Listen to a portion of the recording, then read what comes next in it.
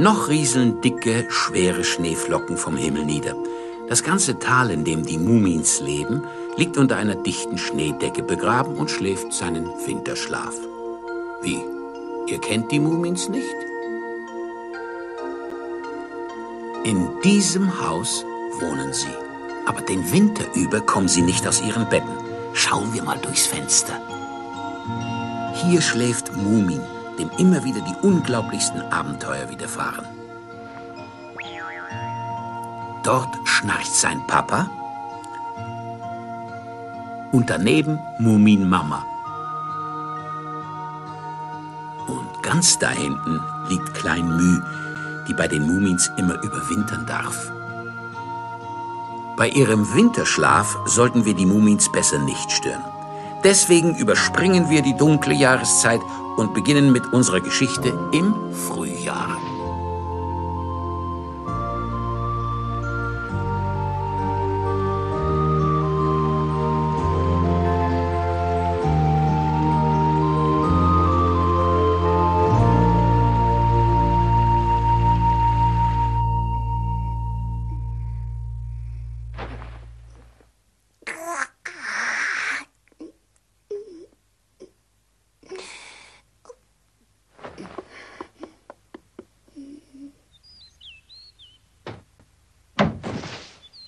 Schnee schmilzt schon. Die Sonne ist da.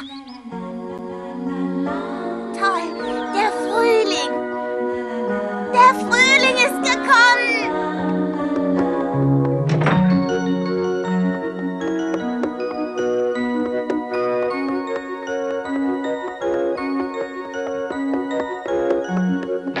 Hey, Mumin. Na, Klein Müh, bist du auch schon wach? Wie soll man denn bei deinem Gebrüll schla schlafen können? Du mit deiner öden Schlaferei. Sag bloß, du schläfst nicht gern. Doch, aber... Na also, dann hör gefälligst mit deinem blöden Gebrüll auf. Aber es ist doch längst... Ich habe gerade geträumt von einer riesengroßen Wassermelone. Wassermelone. Willst du nicht mit rauskommen? Die Sonne scheint nämlich. Na und, was ist da schon Besonderes dran? Na, der Winter ist vorbei, der Frühling ist angebrochen und das Leben ist wunderbar. Aber schlafen war auch wunderbar. Du hast gesagt, am ersten Frühlingstag soll ich dich wecken. Das weiß ich noch ganz genau. Das hab ich gesagt. Erinnerst du dich nicht mehr dran? Hm. Du kannst mir ja viel erzählen. Naja, wenn du keine Lust hast, mit rauszukommen, dann kannst du ja gleich wieder schlafen gehen. Unsinn. Wie soll ich schlafen, wenn ich gar nicht mehr müde bin? Hm, du weißt eben nicht, was du willst. Mama, es ist Frühling. Ja, ich weiß, mein Schatz. Mumin, Mama, ich hab Hunger. Hast du vielleicht eine? Nein, keine Melone, aber viele andere leckere Sachen. Wie wär's mit einem riesigen Frühlingsfrühstück?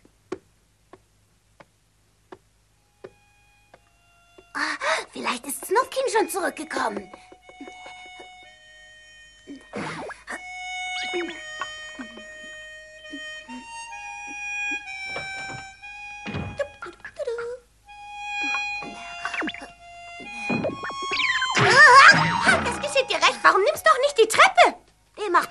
So viel Spaß.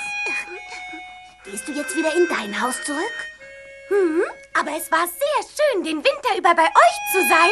Ich glaube nicht, dass deine Schwester schon da ist. Macht nichts, ich gehe trotzdem.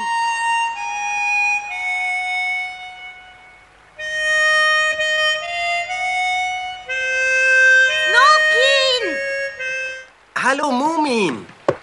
In diesem Jahr bist du aber früh gekommen. Ja, das stimmt.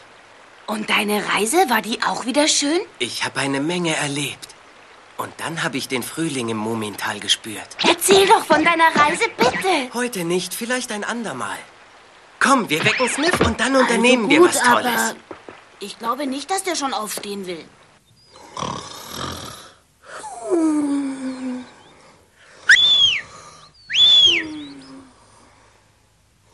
Der schnarcht ja wie ein Sägewerk. Probieren wir es nochmal.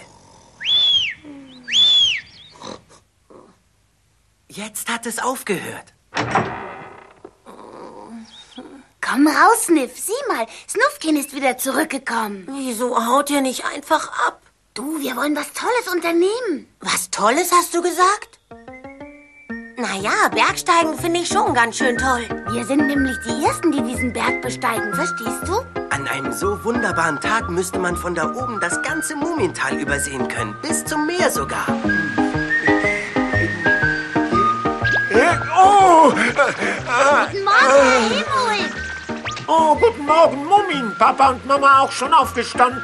Mama war schon auf, als ich weggegangen bin. So, so, eigenartiger Brauch dieser Winterschlaf. Oh, Also uns gefällt er.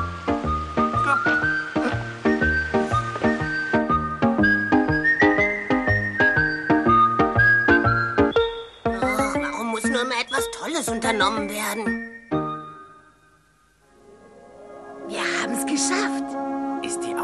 Hier oben nicht atemberaubend? Vom Muminhaus steigt Rauch auf. Wir hätten nicht weggehen sollen. Muminmama kocht bestimmt was Leckeres. Nanu, Was ist denn? wir sind gar nicht die Ersten auf diesem Berg, wie ich dachte. Seht nur. Das sieht aus wie ein Zylinder. Und was für ein riesiger. Vielleicht kann man da Kaninchen rauszaubern. Eventuell könnte ihn Papa sonntags aufsetzen.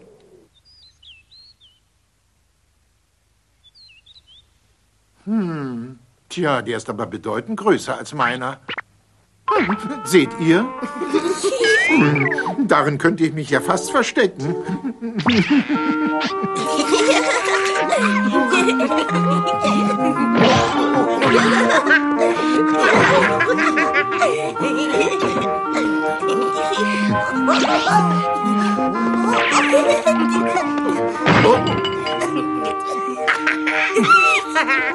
Nun scheint es, als wäre er plötzlich kleiner geworden. Was ist denn, Papa? Ich will lieber meinen Alten wieder haben. Hilf mir mal, Mumin. Warte mal, das haben wir gleich.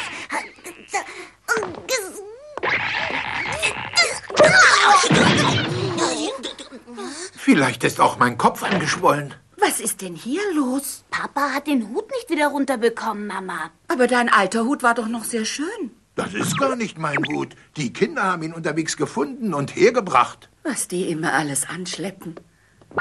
Was sollen wir denn nun damit anfangen, Papa? Also mir gefällt er nicht. Er ist mir unheimlich. Soll ich ihn wegschmeißen? Nein, das wäre schade. Er ist ja noch niegelnagelneu. Kennt ihr jemanden mit einem so großen Kopf? Nein, leider nicht. Wir lassen ihn einfach hier stehen. Was stellt er denn nun da? Ein Papierkorb, dafür wäre er gut zu gebrauchen. Snuffkin, das schlaue Kerlchen, hat's erraten. Na, Snuffkin, du bleibst doch sicher zum Frühstück. Ich habe schon alles fertig.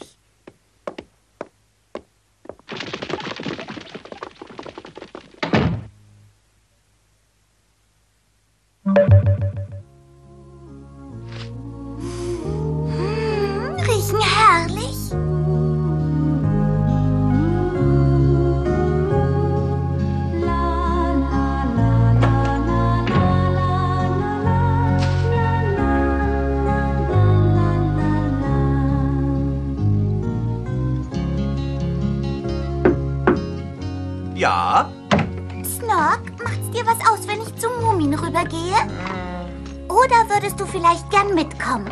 Ja, Oder würdest du doch lieber hier bleiben? ja, Wie, ja oder nein? naja, Also was? naja. Ja oder nein? Es ist fast fertig, verstehst du? Ich bin sicher, dass mein fliegendes Schiff dieses Jahr noch fliegt. Pass auf! Ui, ui, ui, ui, ui. Hm. Es fehlt gar nicht mehr viel. Ob es wohl wirklich ein fliegendes Schiff geben kann? So ein Quatsch, natürlich nicht. Aber er, er hat immer davon geträumt, dass es fliegen kann. Ach, träumen ist schön. Aber selbst wenn man träumt, sollte man ein bisschen bescheiden bleiben. Ja, da hast du recht. Hör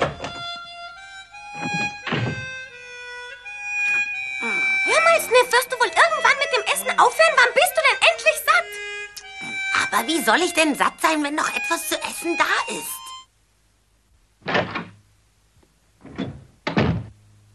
Nanu?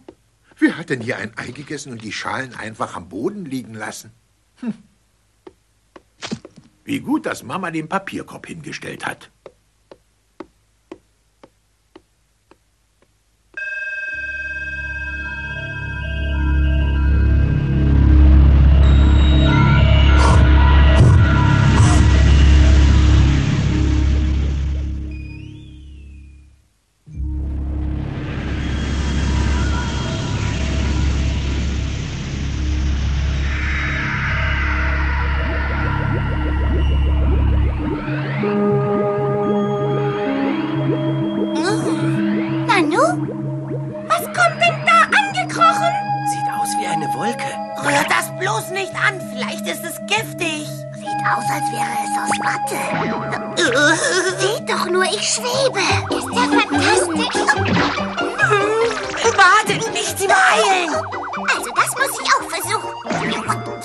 Snork, Fräulein.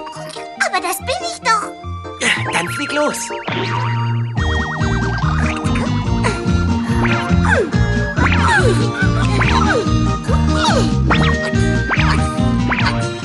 Steigt nicht zu hoch. Wenn ihr runterfallt, tut ihr euch weh. Gute Reise.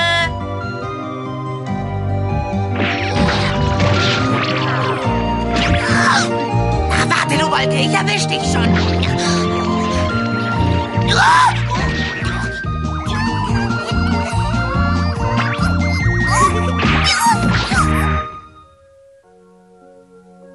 Muminpapa schreibt seine Memoiren, denn er hat schon sehr, sehr viel erlebt. Beim Schreiben fallen ihm immer mehr Ereignisse aus dem Mumintal ein. Und die waren eigentlich alle schön. Mumin,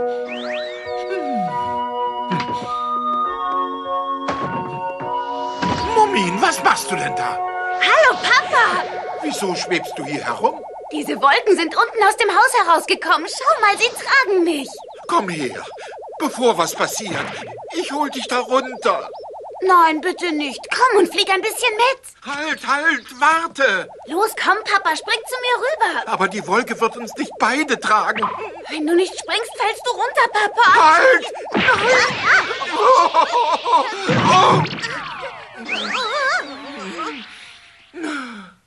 Ach, eine Katastrophe, Mama. Was ist passiert, Papa? Weißt du, was die Kinder da machen? Ja, ja, natürlich. Aber, aber sieh doch nur, sie segeln auf Wolken. Was, wenn sie abstürzen, Mama? Ja, ich weiß. Ich habe Ihnen natürlich gesagt, Sie sollen aufpassen, dass Sie nicht runterfallen. Jetzt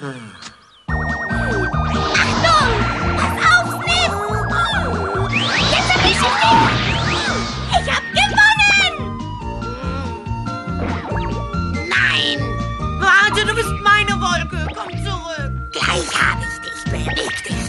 so. Ja, meine kleine Wolke. Hier bin ich. Oh, schön hier. So, jetzt fliegen wir weiter. Meine kleine Wolke und ich fliegen hoch in den Himmel. So, ja. Und was ist das denn?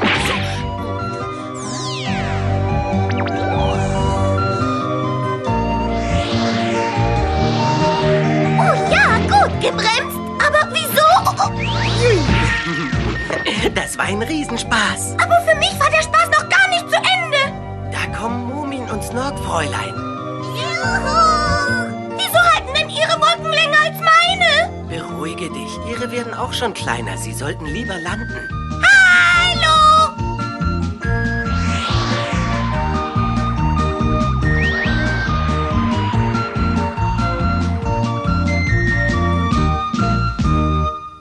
Zähle jetzt. Eins, zwei, drei, Was willst du, Kleinmüh? Mich verstecken. vier, fünf,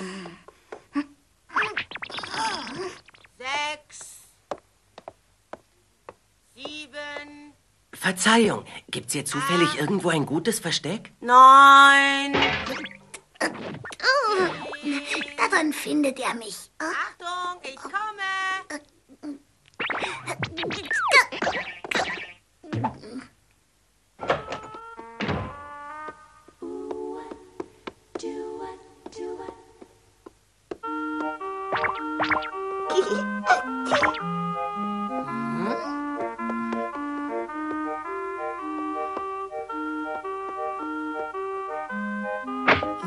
Yeah.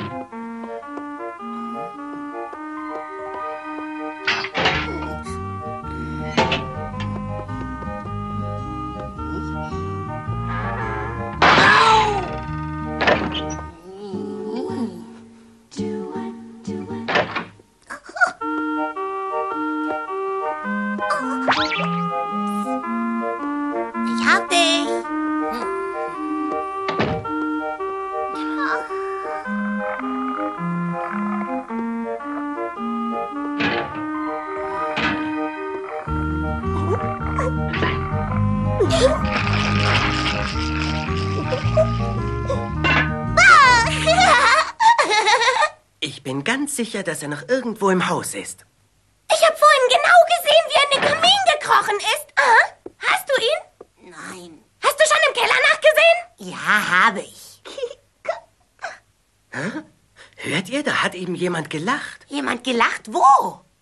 Ich glaube, ich sollte jetzt heimgehen. Ist was? Ihr schaut alle so bedrückt. Mumin ist verschwunden. Wir können ihn einfach nicht finden. Dabei ist er viel zu dick, um sich richtig zu verstecken.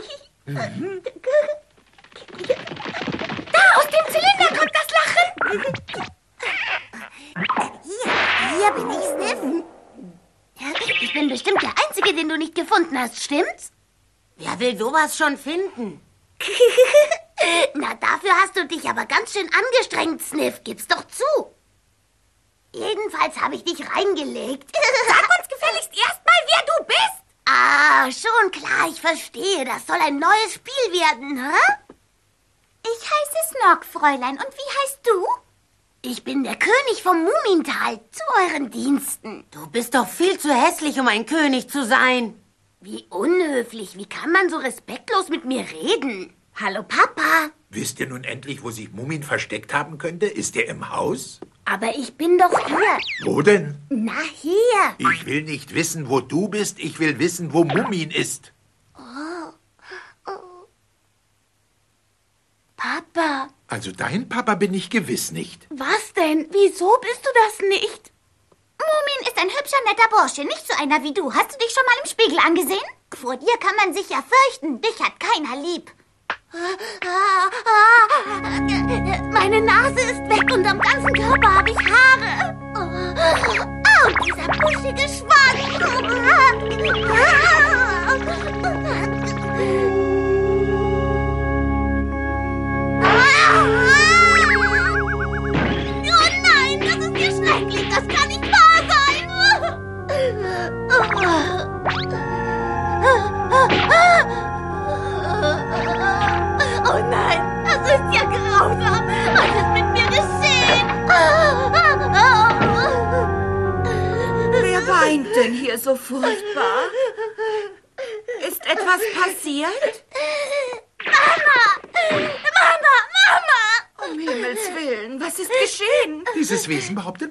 Sein, aber ich glaub's ihm nicht.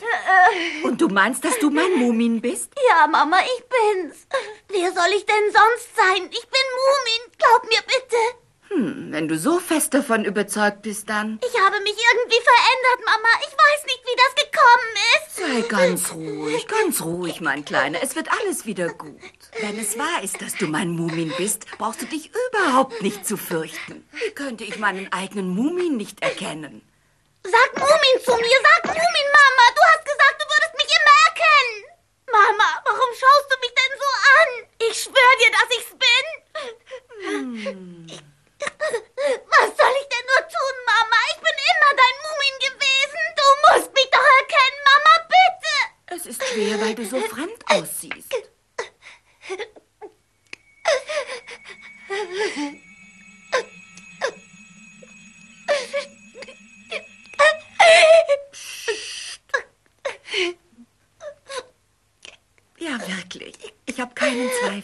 Bist mein Mumin.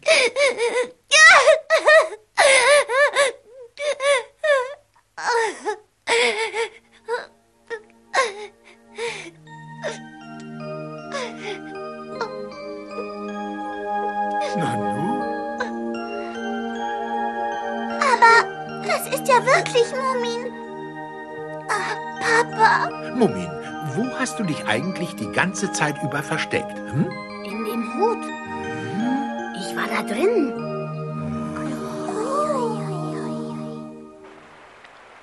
Das ist ein ganz gefährlicher Hut. Wir wollen uns für immer von ihm trennen. Da sie sich alle mochten, wie sie waren, war der Entschluss leicht, sich von dem Hut zu trennen. Nur Mumin spürte im Innern ein leises Bedenken. Schließlich findet man nicht jeden Tag so einen vornehmen Hut.